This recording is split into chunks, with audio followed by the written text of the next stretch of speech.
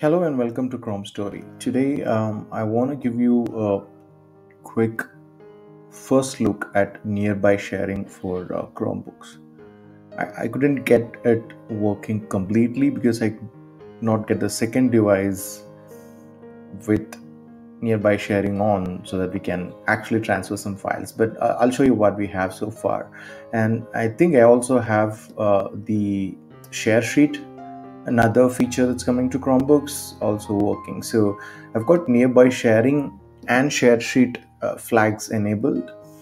And if you look at settings, nearby share is also turned on. Now, um, how you trigger this in Chrome OS as of now, when you select a file, um, you'll see this um, uh, more actions icon or the share icon which I believe is the new share uh, sheet.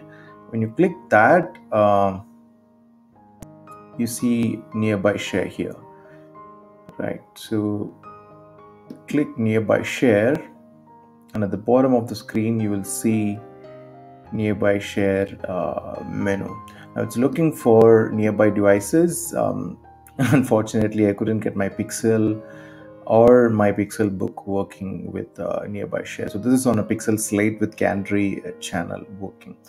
Uh, but I can go to settings and see uh, with the other uh, options. Um, so it's my account, device name, device visibility, uh, where I can select contacts um, and the data, you know, it, it's more like an information you know uh, charges might apply for uh, certain files. So that's that's pretty much uh, what i could get working so far but um, this is probably the first time that we are seeing nearby sharing working uh, on a chromebook right? Or chrome os tablet to be exact. Uh, this is on a pixel slate with nearby sharing and share sheet uh, flags enabled. Um, there is an Android Police article actually explaining uh, how to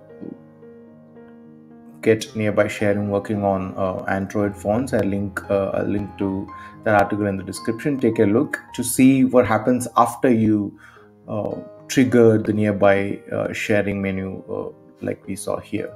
So thanks for watching. Um, I'll, I'll get uh, one more device working soon and I'll uh, put up another video showing the complete nearby sharing process. So thank you for watching. Subscribe to this channel and um, look up Chrome Story on the web for more articles. Thanks again. Bye.